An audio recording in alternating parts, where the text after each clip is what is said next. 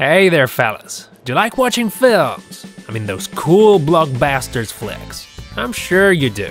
And what about bloopers? Do you like bloopers? Like the kind of bloopers that are hard to notice straight away. Alright, so you're about to see 10 funny, hard to notice movie bloopers.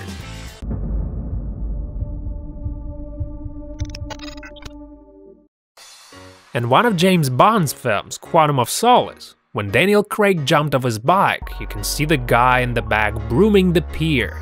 But if you look closely, you'll see that it's doing that in a rather interesting way, as if it was cleaning up the air.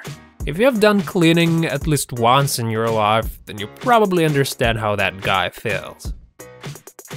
In the third episode of Back to the Future, that guy in the back waves his hand in a weird fashion, but I think I understand what he's trying to say. He's like, hey, stop shooting me, shoot that guy, I need to go to the loo. This is from the film The Dark Knight Rises. It looks like a common fight scene, but one of the extras seemed to be fighting a ghost. No, let's just hope he didn't get hurt. Return of the Jedi. Here's another action scene. The character knocks out the weapon like a pro.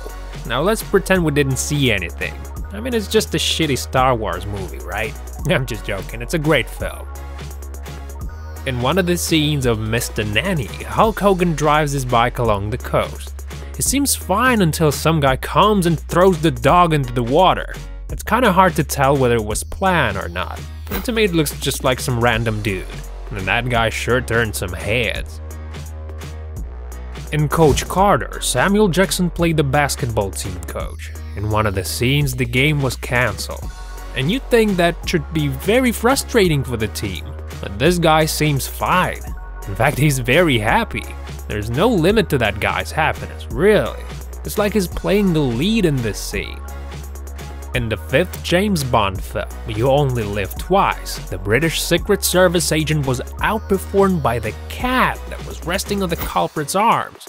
The kitty showed some top-notch acting techniques, overshadowing the great James Bond.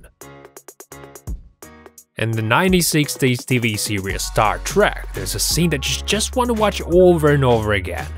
We see a few cast members, and one of the actors decided to show off in a bit of an unconventional way. He came up with a brand new spaceship control method. Please don't laugh, you guys. Not everyone is capable of controlling such intricate sci fi technology. In one of the crowd scenes of Million Dollar Baby, one guy got so inspired and happy that he couldn't control his feelings about what was happening on the ring. Just take a look at that dance. That man is natural. Okay, here's the last one. It's from Star Wars. Now take a look at that stormtrooper on the far right. The poor guy hits his head on the door because it's too tall. Alright, that's all for today. Oh, how often do you guys notice bloopers in films? Tell me about that in the comments, okay? And don't forget to press the like button. Thanks for watching, you guys. We'll see you next time.